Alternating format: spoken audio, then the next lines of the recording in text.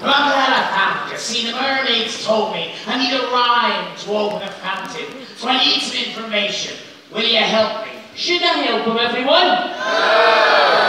Sorry, but my friends say No! Well, listen to them. They're idiots. they're not idiots, they're all my friends. Well, if they're your friends, that makes you an idiot too. Well, that's not very nice. Well, I guess I'm not a very nice person then, am I? Well, I don't speak to nasty people. I'm not going to speak to you anymore. Oh, don't be so pathetic. Of course you'll speak to me. You'll speak to me, won't you? Hello? Hello, it's me.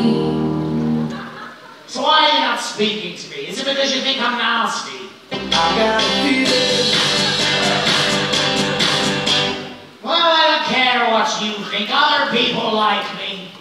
My mama don't like you, she likes everyone. I don't care about you or your mother. We can be so. Don't you know you're? I'm sorry.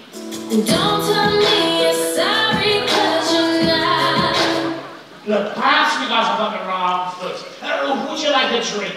Tequila Why do you want that? It makes me happy I'm afraid I haven't got any tequila, but perhaps you'd like to go for a swim. Don't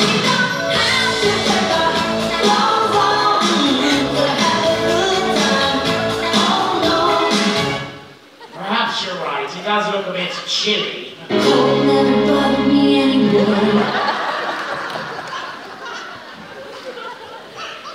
Let's cut to the chase. What do you information about the Fountain of Youth. Like, how did you first hear about it?